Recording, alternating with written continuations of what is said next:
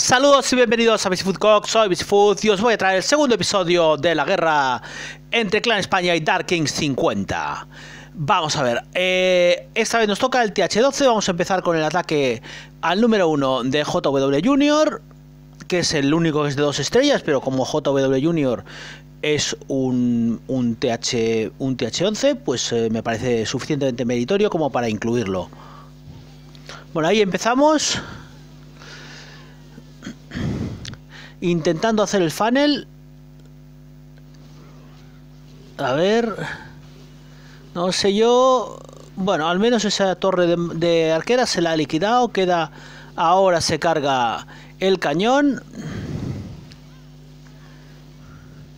Y se tira a degüello a por el ayuntamiento con el carrito y todo lo demás. Mm, vamos a ver congela la segunda infierno, no la primera. La primera se lleva por delante con el carrito. Ahora el carrito se enfrenta al ayuntamiento y a la segunda infierno, pero la segunda infierno es multi, le va a hacer mucho menos daño. Y pilla la tornado. La tornado sí que le está haciendo bastante daño porque ha hecho que todas las valquirias, creo que eran valquirias, mueran.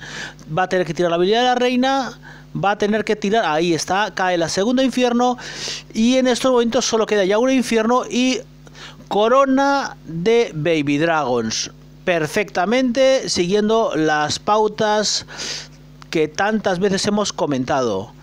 No se espera, hombre, no los tira todos porque no caben. Hay que intentar dar un espacio entre baby y baby. Porque si no, se estorban y no usan la habilidad. Los babies tienen que estar apartados de cualquier otra criatura voladora para poder activar su habilidad de rabia. Y fijaos que, bueno, ha hecho el pleno, pero no ha hecho un pleno justito. Yo ya soltaría esos tres babies que quedan, porque esperar ya no conduce a nada. No, se ha llevado ahí la de Dios. Bueno, ya soltó los babies que quedaban. 66% creo que ahí se va a quedar. Queda ahí este baby, 67%. Pues muy bien, la verdad es que me parece un portaje bastante bueno bastante. Y de hecho, fijaos que la partida, la, guerra la ganamos por porcentaje. Bueno, pues vamos a. Os voy a enseñar cómo fue la guerra porque es interesante. Esto es interesante de ver. Vamos a ver. Aquí vamos. Eh, bueno, aquí no se fue sumando. Fueron dos ataques a porcentaje. Fijaos, 93 y 95 de mío y de Cassandra. Que oye, pues no fueron plenos, pero no estuvieron lejos, pero sobre todo es que eran ataques a porcentaje, eran importantes aquí el último ataque que puntúa es este de Ito. Y este mío anterior, que es el pleno, que un poco nos da la vuelta a la situación. Pues la verdad es que el enemigo tenía dos TH12 más que nosotros.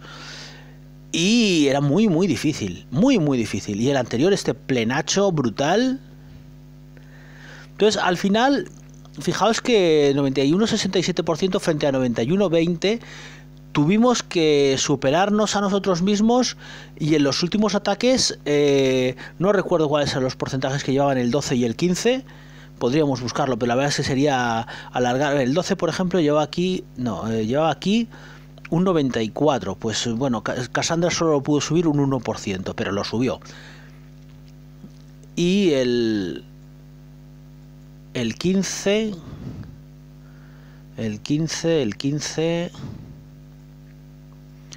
Igual había más ataques, que no lo sé. El 15, aquí hace un pleno el 15, que no es un pleno al 15. No, pues no sé, no lo encuentro. Aquí está. Dexter Balboa eh, le hizo un 74, pues yo lo subí lo subí eh, un par de décimas, casi 0, o sea, 19 centésimas. No sería eso lo que decidiría, ya llevaríamos ventaja, pero los ataques fueron a eso, fueron a, mejorar porcentaje. Y si hacíamos pleno, mejor. Yo creo que ya atacamos con la convicción de que habíamos ganado. Y ellos justo a la vez estaban haciendo ese último ataque de Taelin, Taeline sobre Dexter Balboa.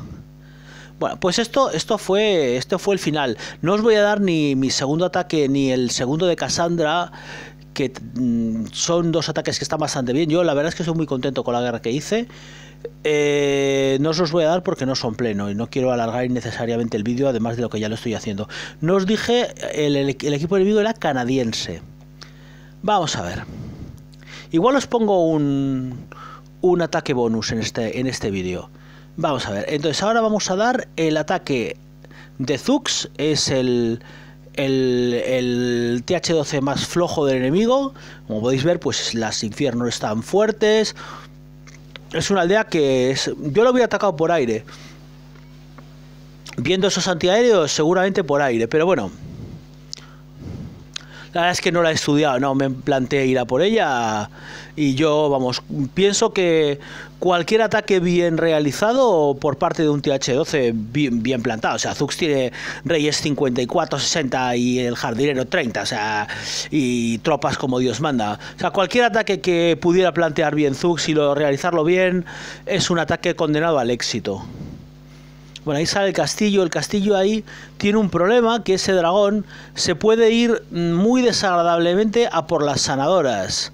Y eso, pues, es un pedazo de problema. Justo ahora la reina se va a plantar con todo a la vez y uff.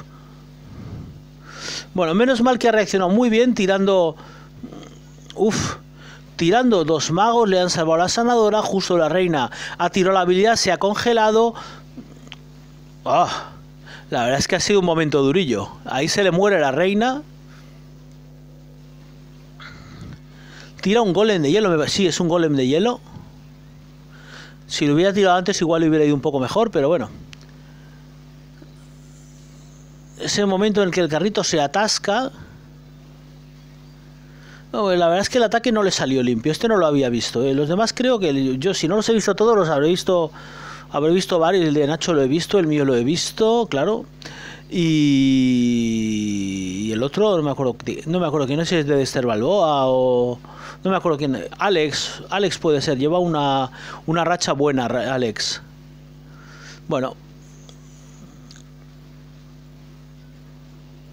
pues al final ha conseguido meter todas las tropas ahí dentro y cuando tú metes las tropas en el centro de la aldea ya tienes muchísimo ganado. A pesar de todo, va a sufrir al final, se ha quedado sin reyes, le quedan pocas tropas y quedan cuatro defensas aún. Así es un final bastante ajustado. No le ha salido las cosas como él pensaba. Y al final, pues ahí llorando, llorando, que se dice. Sufriendo muchísimo. Esos Teslas, esos Teslas son bastante flojos, pero, pero ya hacen daño una cadencia de disparo rápida, hacen una cierta cantidad de daño. Nos queda uno de los Teslas todavía, que el problema es que está fuera de tiro y eso sí que es un problemón. Pero son muchas tropas las que quedan. Y además están, están yendo por el lado correcto, o sea, y el jardinero la emprende con el Tesla a distancia de seguridad. Bueno, pues ahora va a venir el ataque de... Ah, el otro es de Ito. Ahora va a venir el ataque de Nacho, que fue el penúltimo pleno, uno de los últimos ataques que puntuaron. Y bueno, esto, imaginaos, necesitábamos dos plenos, necesitábamos otra estrella más y necesitábamos mejorar el porcentaje. Estábamos perdiendo como de tres o de cuatro estrellas o incluso de cinco, no recuerdo cuál era el marcador. Y al final, en los últimos ataques, nos vinimos arriba y les dimos. Les dimos matarile, eh, pero mm, las dos últimas guerras nos ha pasado lo mismo, que hasta el último momento no hemos sabido, no hemos tenido claro que ganábamos. En la última, sobre todo, esa no os la voy a dar porque hemos, hemos estado muy mal, hemos hecho una muy mala guerra, sin momentos realmente buenos, como ahora podéis ver ese ataque de Nacho de hecho, vamos a hacer una cosa. Voy a dar otra vez el ataque de Nacho desde el principio porque me he distraído y el ataque merecía la pena. Vamos a ver. Fijaos que lleva otra vez nueve hechizos de murciélagos. Y que de nuevo, primero tira a los reyes. Los reyes hacen su trabajo. Empieza a tirar los dragones, los globos, lo tira todo. Y ahora es cuando va a tirar los hechizos de murciélagos.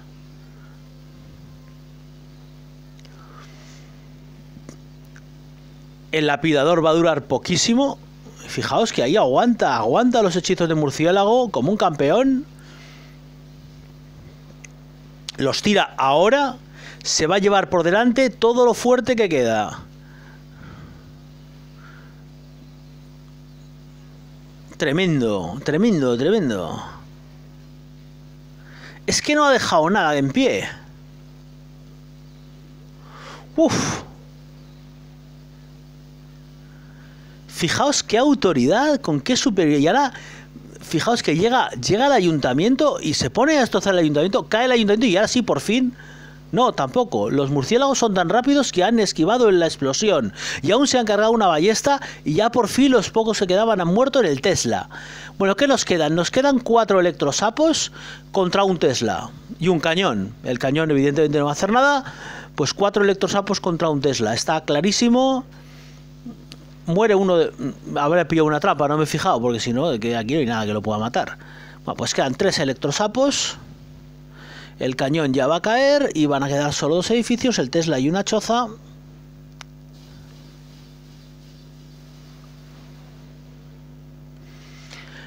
El ataque es de una elegancia sobrecogedora.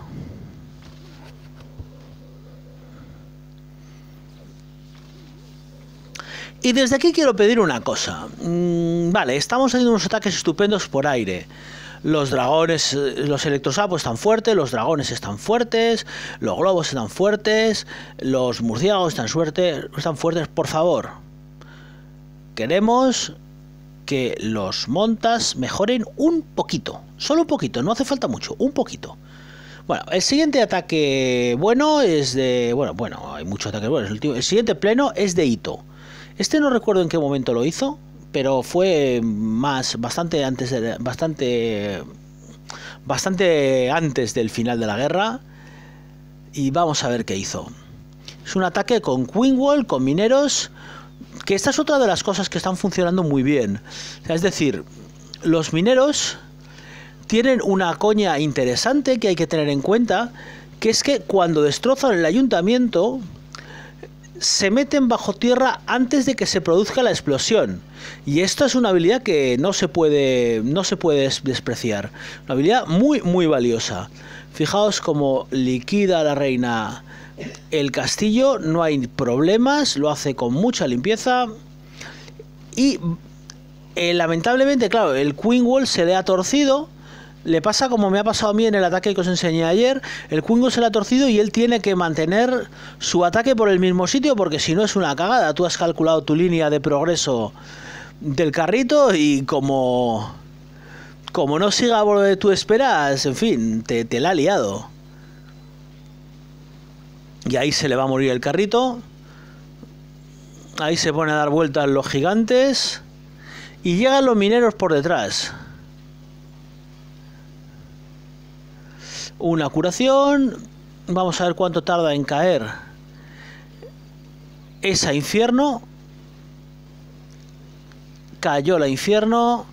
Va a caer el pollo y realmente... Sí, ya va a caer otro infierno. Realmente la aldea está ya bastante comprometida. O sea, el ataque está triunfando. Quedan muchísimos mineros. Por supuesto los gigantes se han atascado, pero tampoco pasa nada. Ahora están dando la vuelta y probablemente lleguen a hacer el tanque un poco más adelante. Bueno, igual no porque son muy lentos y los mineros están progresando a toda velocidad. Ya llegan a la parte final. Y las defensas que quedan ya no son particularmente buenas contra los mineros quedan un par de cañones, un mortero y dos torres de magos. Y eso, eso contra los mineros pues es efectivo, pero no es como las torres las torres de mago, cuando he dos torres de arquero, no de magos. No es tan efectivo como las torres de mago, no es tan efectivo, yo que sé, pues como la infierno, como una ballesta, esto ya no, ya no es lo mismo. Y se meten bajo tierra, lo esquivan todo. Además, los gigantes han llegado a tiempo, están comiendo todo ese fuego y ya está. Ahí se acabó, plenazo plenazo de hito y ahora vamos al último pleno que hicimos, que fue el que os he enseñado antes, el mío. Y bueno, el rugido que pegué es una cosa que suelo hacer. O sea, yo cuando hago un pleno bueno, cuando estoy satisfecho, muy, muy satisfecho con un ataque, pego un grito. Es habitual. Eh, pegué un berrido que no os podéis imaginar. Lleva mucho tiempo sin hacer un ataque tan bueno como este. Este ataque es posible gracias a que Nacho me estuvo tocando las narices para decirme lo que tenía que hacer. Y gracias a ello, fijaos que copio la forma de operar de Nacho, tiro primero los reyes y tal, ese tipo de cosas que yo no hago nunca. Bueno, y ahora me he cargado un antiaéreo los reyes no iban a ir por ahí, creo que iban por otro lado. bueno, no me acuerdo, igual sí que hicieron lo que tenían. No me acuerdo ahora si era esto la idea. Pues ahí llega el, el castillo. Pronto voy a tener que gastar la vida de la reina, tal como está la cosa, la tiro ahora, eso es. Y creo que me cargo el castillo. Y la verdad es que liquidado castillo, liquidado un antiaéreo, tiro ahí los murciélagos, congelo una torre de magos cae el pollo, cae un infierno. Bueno, cae el pollo, ¿no? él, pues que caiga el pollo, eso es. Porque si no, me, me deja muy mal. Bueno, y fijaos que ha caído un montón de defensas. Y todavía quedan murciélagos. Entonces ya directamente lanzo el ataque. Y bueno, ya en ese momento ya no ves lo que está pasando, porque si no, igual hubiera tirado el hielo ahí para que aguantara los murciélagos. El hielo sí está mejor para tirarlo ahí, pero bueno. Fijaos que lo bueno de esto, tú atacas una, un edificio tan fuerte como es un ayuntamiento y desde el otro lado tú estás disparando contra todas las defensas que hay detrás. Porque el, arco voltaico, digamos, que hace el ataque del electrosapo, pues lo que hace es destrozar todo lo que hay detrás. Bueno, fijaos, sobradísimo avanzando, acabo ya con el último antiaéreo, quedan los cuatro Teslas, que no son moco de pavo, pero mm, está claro, aquí ya está claro que va a ser pleno, porque me quedan prácticamente todos los electrosapos. Empiezan ya a caer, porque ya estarán bastante tocados, cae el último globo, mm, cae otro electrosapo, pero ya es que no quedan defensas. Este electrosapo que avanza por la banda se va cargando todo lo que queda y bueno, quedan otro electrosapo muere, solo queda ahí el infierno que está haciendo muchísimo daño. De hecho, en estos momentos el infierno se ha quedado solo ya con tres electrosapos al morir. Pero claro, no hay ninguna defensa más y ya está. Tres electrosapos son lo que queda al final. Fijaos ese último rayo que lo ha destrozado todo. Creo que ha ido simultáneamente con el con el del otro electrosapo porque si no no hubiera destrozado ese campamento plenaco, o sea, un ataque magnífico, aunque esté mal decirlo porque sea mío, pero estoy encantado de haberlo hecho. Bueno, pues como estoy lanzado, os voy a enseñar una guerra que la verdad es que hemos estado bastante mal, pero... Eh, vamos a ver, quiero daros un pleno que además no, no he tenido la ocasión de verlo, que es el pleno de Tinito que es el único pleno TH12 que ha habido y quiero rescatarlo porque hay pocos y casi es el único ataque rescatable de toda la guerra. Hay alguno más, pero poco, muy poco. He hecho muchísimos fallos. Hemos vuelto a ganar por porcentaje. Eso que íbamos. Bueno, íbamos toda la guerra sufriendo como perros y al final lo hemos arreglado. Ahí tira unas valquirias para ayudar al rey en liquidar el ayuntamiento. Curioso, ahí ya suelta un montón de globos, los electrosapos. cae la infierno. Oh, pilla la tornado justo en el momento en que le ataca el castillo. Claro, ese supongo que sería el plan. Y aún aguanta. El dragón por fin cae. El dragón creo. Y vamos a ver. Tira la habilidad del jardinero y perreando, perreando llegamos al pollo. Que la verdad es que este sí que aguanta. Pero al final cae. Y solo nos queda realmente poderosa ese infierno. Porque todo lo demás está más o menos negociado ya. Y la infierno no tiene, no puede durar mucho. Porque ya tiene muchos electrosapos cercándola. Son tres electrosapos alrededor del infierno y es uno el que se está encargando de ella y ya está. Ya solamente queda una torre de arqueras que da, da cuenta de uno de los cuatro electros, de los cinco electrosapos que quedan.